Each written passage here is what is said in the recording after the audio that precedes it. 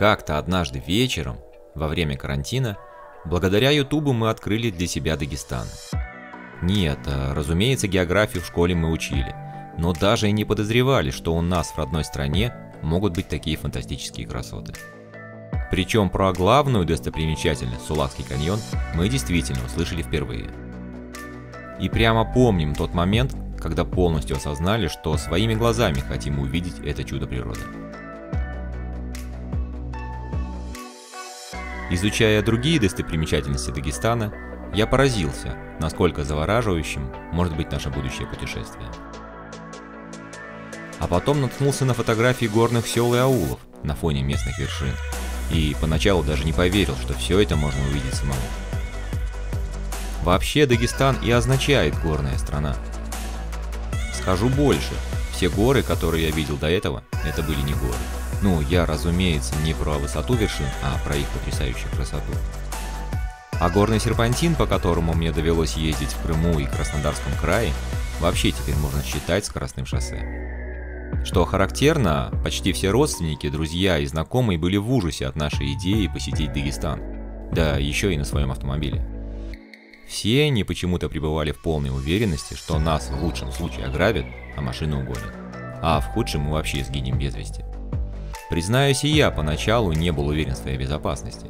Но чем больше читал на форумах про автопутешествия в страну гор, тем более нелепыми выглядели звучащие предостережения.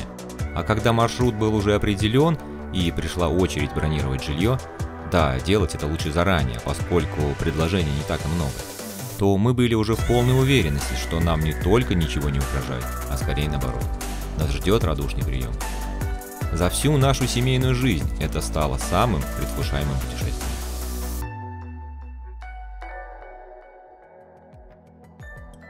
И наконец в 16.00 после работы прямо от моего офиса мы отправляемся в путь. Пару часов, потолкавшись в московских пробках, выходим на М4.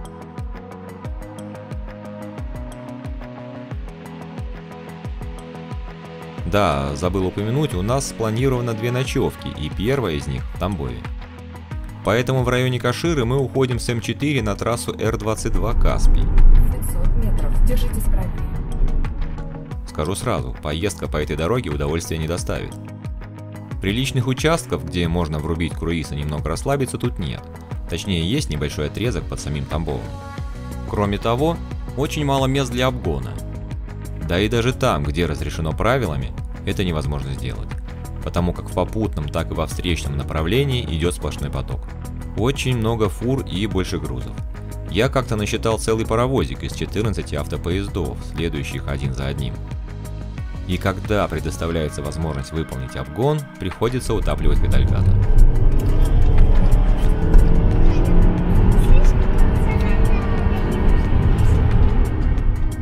Но справедливости ради, стоит сказать, что встречаются и свежеотремонтированные участки с карманами для обгонов.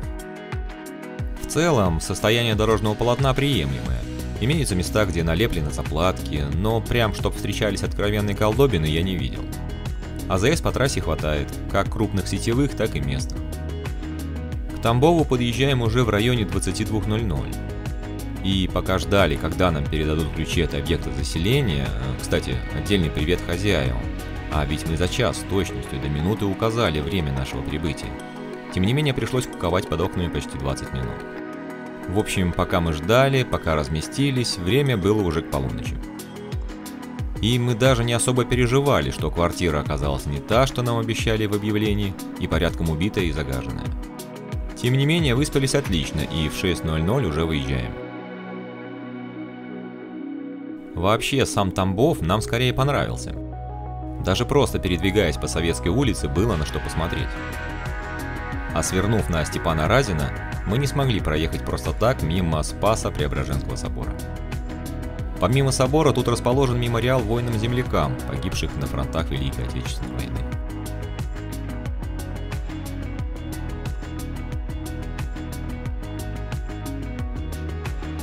Буквально через несколько минут мы продолжаем свой путь, а то мы и так отстаем от графика. И получается, даже так и не выяснили, почему местный представитель семейства Псовых находится с кем-то в дружеских отношениях. Но благо, эта жанровая скульптура была расположена на Рассказовском шоссе, и мы, сделав небольшой крюк, остановились возле нее и, сделав несколько фотографий, продолжаем путь. Через некоторое время возвращаемся на трассу Каспий.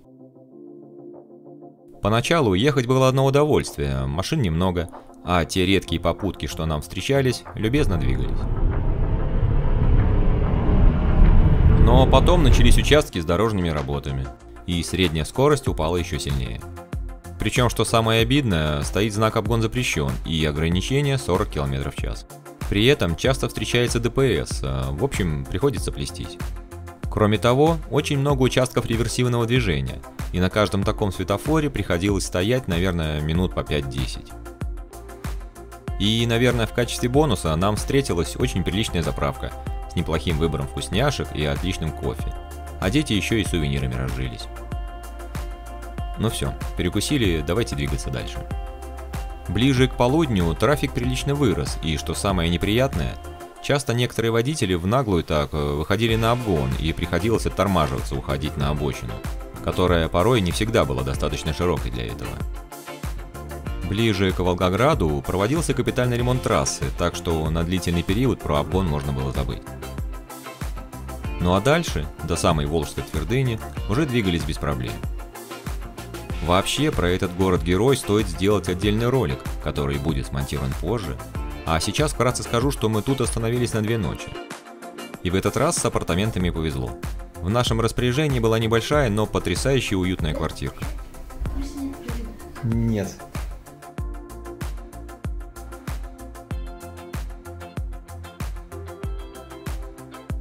Задержаться же еще на один день мы решили тут потому, как грех было не воспользоваться случаем и не посетить здешние места боевой славы. А вечерком отлично посидели в одном известном заведении с моим коллегой. Что примечательно, по работе общаемся мы с ним уже больше трех лет, но вживую встретились впервые. Кроме того, нам удалось посетить музей-заповедник Старая Сарепта, где мы, помимо всего прочего, насладились звучанием органа.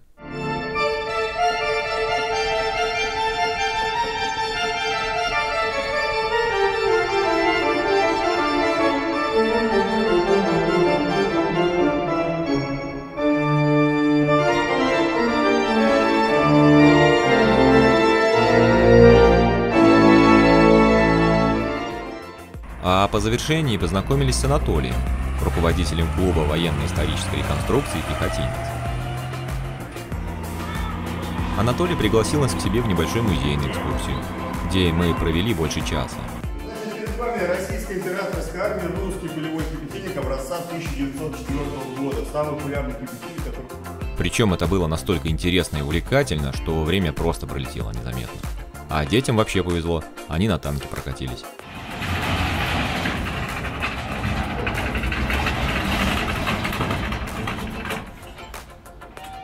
Да. Одним словом, будете проезжать мимо Волгограда, не проезжайте мимо. Ну, простите за каламбур. А мы по утру двигаемся в сторону Элисты. Граница республики находится буквально километрах в 50 от окраины Волгограда. И пейзаж довольно быстро меняется, переходя в бескрайние степи. Дорога в этой части хорошая, обгонять одно удовольствие. Встречку видно за несколько километров. Но ехать скучно, поскольку вокруг ничего интересного. Хотя чего ожидать от степи? По ходу движения возникла идея заехать в Элисту. Вообще, изначально мы не планировали посещать столицу Калмыкии, но как-то внезапно, осознав, что это уникальный шанс посмотреть на буддийскую архитектуру, мы решили остановиться тут на пару часов. В Элисте проживают представители практически всех основных мировых религий – но наибольшее число верующих является буддистами. Это накладывает отпечаток на облик города. Тут можно встретить пагоды, хурулы, скульптуры Будды и прочих почитаемых святых. Мы же начинаем свой обзор с пагоды семи дней. Она символизирует семь Будд, вошедших в наш мир, а остроконечный шпиль символизирует выход из сансары и достижение нирваны.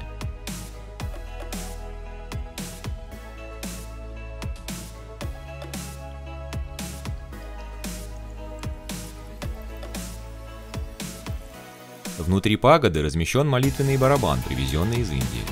Сам, разумеется, не проверял, но говорят, что в барабан заложены 75 миллионов мантр.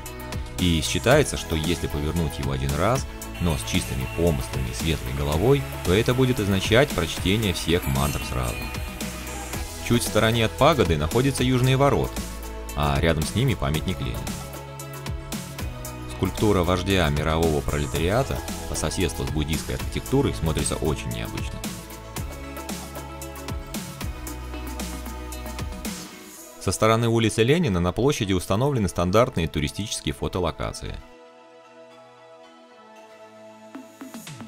А если двигаться от пагоды по аллее героев, то с правой стороны мы увидим статую Будды и далее золотые ворота. 15-метровая арка золотистого цвета, поддерживаемая красными колоннами, несет в себе двойной смысл. На ней изображено 28 картин, которые отражают важнейшие вехи развития культуры калмыков и становления их государства. И кроме того, центральная часть представляет собой символический порог, перешагнув который каждый человек совершает духовное очищение, отбрасывает от себя нечистые мысли и желания. За воротами идет белокаменная дорожка, символизирующая путь добродетели. Но мы по ней не пошли, поскольку спешили посмотреть главную достопримечательность Листы и, наверное, всей Калмыкии – золотую обитель Будды Шакьямуни.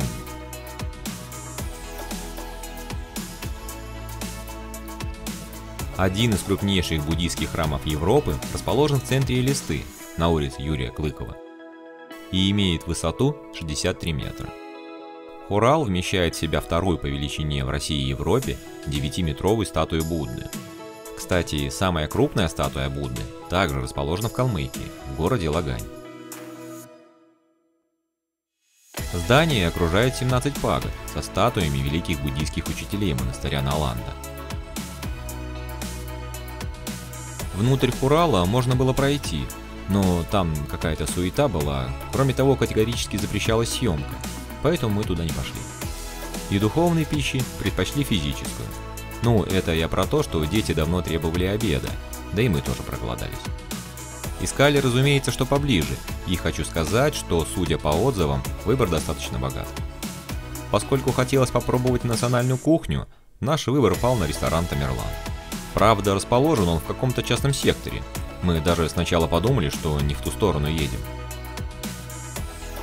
но Яндекс не подвел. Что касается самого заведения, то оценив уютный стильный интерьер, мы сразу поняли, что выбор был сделан правильно. А вкусный и сытный обед, э, да, порции тут приличные, только подтвердил это. Пообедав, двигаемся дальше. После Илисты пейзаж за окном не особо поменялся, разве что коровы на обочинах появились. Что же касается качества дорожного полотна, то оно стало хуже. Особо убитый кусок ждал нас в Комсомольском районе, где вдобавок к этому начался ливень, сопровождавший нас до конечной точки. Прямо 72 километра. А, вот, забыл сказать. Эта самая крайняя точка находится в окрестностях Сулакского каньона. Мы завтрашний день решили начать сразу с осмотра этой достопримечательности, и все путеводители рекомендуют останавливаться в поселке Дубки, что по соседству. Но даже за полгода мы не смогли найти там доступное жилье, причем вне зависимости от цены и сервиса. Единственный вариант был на противоположной части, где располагалось фермерское хозяйство «Родник» и сдавался гостевой дом. Вот туда мы и держим путь. А сейчас вернемся к дороге. После и листы старайтесь, чтобы как минимум всегда было полбака топлива. Приличных заправок тут почти нет, а все, что нам встречалось, это закос под известные бренды. Даже Лукойл в районе Артезиана был какой-то странный. Карты лояльности не принимал, оплата только наличкой. И, что удивило больше всего, туалет 15 рублей. Но наша Шкода вроде без нареканий переваривала полученное топливо. Кстати, по поводу топлива. Это в Дагестане вообще отдельная тема, и я вернусь к ней в последующих выпусках. Но если вкратце, то в горах принимают только наличку, Приличных заправок не так и много, 95-й есть не везде, а 98-й мне даже и не встречался. С дизелем тоже нужно быть аккуратнее. В приморской части проблем с этим нет, э, по части заправок тут ситуация даже лучше, чем в Подмосковье. Но вот разнообразие брендов просто поражает. помимо уже привычных закосов под известные марки, в основном Лукойл, Роснефть и Газпром, встречаются и очень оригинальные. Вот, например, смотрите, Кувейт. А вот тут вообще ЮКОС. А еще, на что мы обратили внимание, почти на каждой заправке имелась мечеть, все-таки мы в мусульманской республике. Забыл отметить, что границу с Дагестаном прошли без проблем, но весь поток останавливают для проверки документов и частичного осмотра багажника. Вообще полиции очень много на дорогах, точнее не на самих дорогах, а на границах поселков. Кое-где имеются прям серьезные блокпосты. Там, как правило, дежурят командированные сотрудники. Я даже земляков из Псковской области встречал. Народ суровый, но абсолютно вежливый. Никто ни до кого не докапывается и не разводит, просто проверка документов но часто. Местная полиция более общительная, спрашивает, как вам Дагестан, нужна ли помощь, знаем ли куда ехать и так далее. А номер забронирован. Где-то по дубке вот по карте не вижу. Это гостиница такая? Гостиница. В общем, общайтесь с людьми в погонах вежливо, и они ответят вам тем же. А тем временем мы добрались до Хасавюрта. Тут наш надежный Яндекс Навигатор выкинул первую подставу и повел нас какими-то дворовыми маршрутами. Снимай бахалам. А потом вообще дорога кончилась. Что самое обидное, затем мы опять выбрались на нормальный асфальт. То есть, э, получается, мы типа срезали. Но выиграв по расстоянию километра полтора-два, мы по времени точно потеряли минут 10.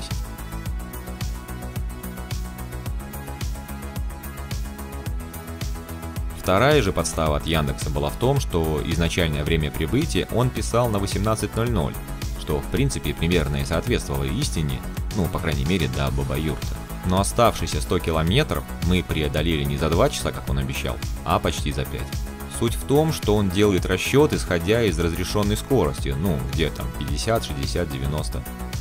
Тогда как на многих участках она вообще не превышает и 10. В общем, когда мы подъехали к горам, уже начали спускаться сумерки.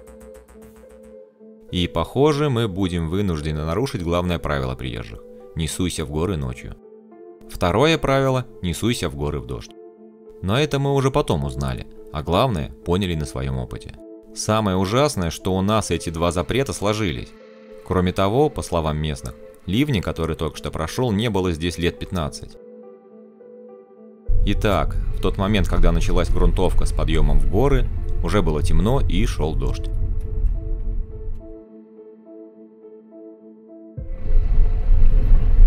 Ух ты, скользкая. Как бы нам не сесть где-нибудь. И вот буквально на следующем витке мы и застряли.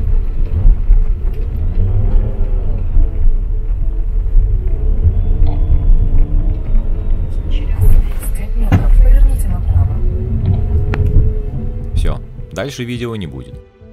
Ну, сами понимаете, не до этого нам было. Давайте-ка вместо этого я покажу точку, куда мы направлялись, а вы пока послушайте, чем все закончилось. Хозяин нашего гостевого дома на связь не выходил, что было, скажем так, э, некрасиво с его стороны. Тем более учитывая, что он знал, что мы на подъезде, и что такое дождь в горах, да еще и ночью. В общем, подняться у нас не получалось. И хуже всего то, что задом по серпантину до места, где можно было бы взять разгончик, тоже не получалось спуститься. Машину стаскивал в повет. А развернуться было невозможно. Кстати, эта мысль была одной из первых – развернуться и ехать искать ночлег где-нибудь у подножия. Но с божьей помощью, хотя мы же в Дагестане, так что тут, видимо, Аллах сжалился над путниками, нам удалось преодолеть этот подъем. С трудом, цепляясь за редкие булыжники и подталкиваемая Наташей, наша Шкода ползла вверх. Воняло горелым сцеплением, тревожно мигали все лампочки об ошибках, и машина в панике сообщала. Отказ ЕСП, отказ АБС, неисправна тормозная система, неисправно рулевое управление, ошибка электроники. В общем, я уже с трудом помню, как мы преодолели подъем и добрались до места ночлега. Где мы, кстати, еще минут 20 искали хозяина. Тот на связь по-прежнему не выходил. Я обошел всех хозпостройки, но так и не нашел его. Пришлось стучаться в каждую дверь и спрашивать у постояльцев, где можно найти хозяев. Даже было интересно, а где же хваленое кавказское гостеприимство? За очередной дверью хозяева нашлись, и мы наконец можем оценить свои хоромы. Хотя, собственно, показывать-то и нечего. Пять кроватей, печь. Ночь сегодня обещает быть прохладной. Небольшой столик. Само собой, мы прекрасно осознавали, что придется жить в спартанских условиях, но других предложений мы не нашли. Вот только немного смущала цена, потому как здесь явно не за что платить 5000. Но, как говорится, тут без вариантов. Твой небольшой санузел. Но самое главное, у нас номер, где есть свой санузел, а остальные пользуются общим. Слушай, у нас свой душ. Это круто.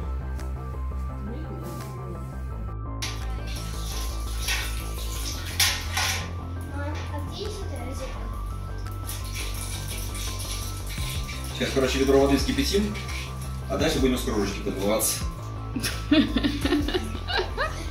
Ну, как-то так. Где вы видели в горах горячую воду? Разумеется, горячее водоснабжение отсутствует как класс, но есть ведро и плита, где можно нагреть воды. Здесь же и разогреем нехитрые остатки еды, что остались у нас в автохолодильнике.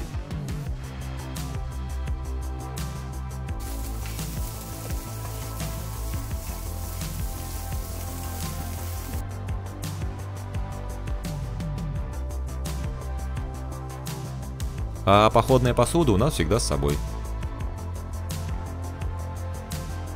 В общем, жизнь налаживается, и уже не с таким ужасом вспоминается то, как мы добирались сюда.